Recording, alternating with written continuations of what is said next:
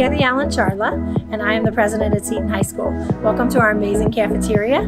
This was all part of our $2 million renovation of this area and a total of $7 million in our campus this summer.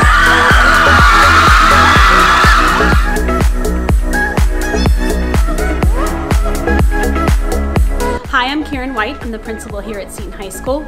We are so excited about our renovations that took place this past summer, especially in the classrooms. All of the classrooms now have um, high-tech lighting, new furniture, new paint, new windows. Most importantly, air conditioning, so the kids can really concentrate on their studies because they won't be worrying about how hot they are while they're sitting in class. My name is Claire Metzmeyer. I'm a freshman at Seton, and I'm really excited about all of our local food options in our new cafeteria like Skyline, La Rosa's, and Chick fil A. I'm so ready to start my new journey here at Seton.